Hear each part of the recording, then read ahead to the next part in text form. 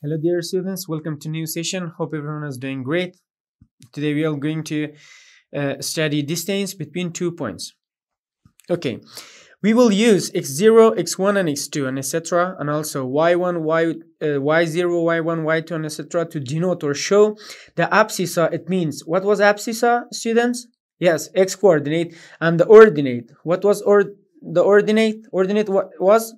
The y coordinate of point points respectively in the analytic plane. Okay, the distance between points A, x1 and y1 with these coordinates and B with these coordinates, it means x2 and y2 is AB is square root of x2 minus x1 square plus y2 minus y1 square. Okay, as you see the figure, we have point A with coordinates of x1 and y1 and also with we have point B with coordinate of x2 and y2. We want to what? We want to find this distance from Pythagorean theorem. Pythagorean theorem. What was Pythagorean theorem? a squared plus b squared is equal to c squared.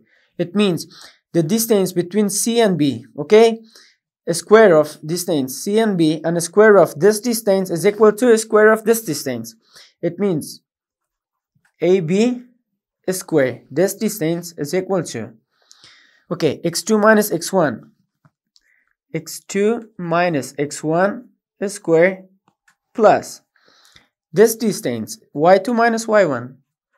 y2 minus y1 square, okay?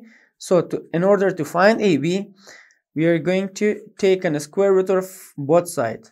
X2 minus x1 square plus y2 minus y1 square.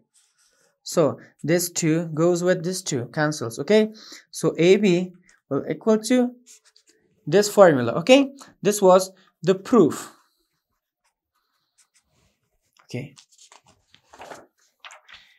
Okay exercise Find the distance between points A and point B. First of all,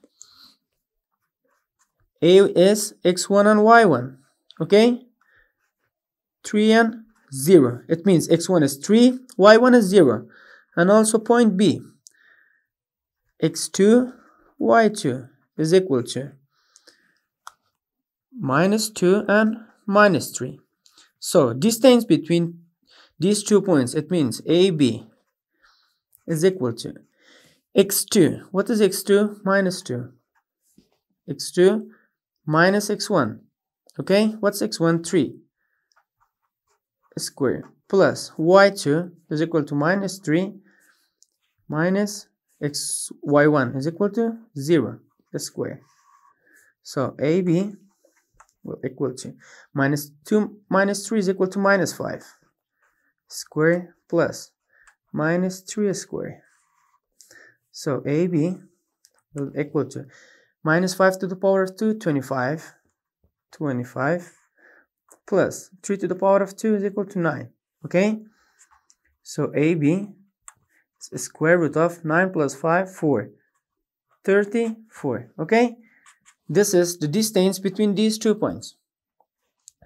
Okay, second question. Show the triangle of ABC with the vertices A, B, and C. Okay, A, B, and C is an isosceles, isosceles triangle.